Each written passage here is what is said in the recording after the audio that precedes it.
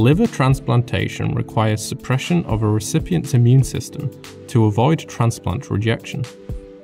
Since immune suppressants threaten patient health, precise control over their dose is required.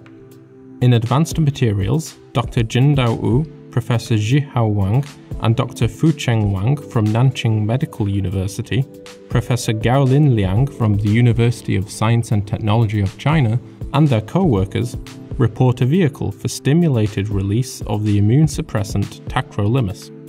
Rejection is a key problem after liver transplantation.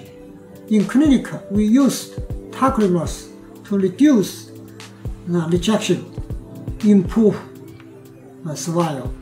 Transplant doctors often adjust tacrolimus dosage according to the clinical experience. We hope to release tacrolimus intelligently according to the immune status of the recipients and minimize the risk of tacrolimus-related complications. The researchers devised two peptide-based hydrogelator compounds, which co-assembled with tacrolimus into a gel. Vary the PTK we use to disassemble a tacrolimus encapsulating supramolecular hydrogel for the immune response release.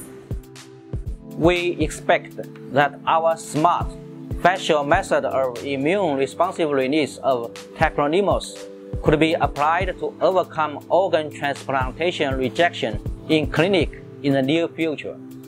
To learn more about this smart approach to overcoming organ transplant rejection, please visit the Advanced Materials homepage.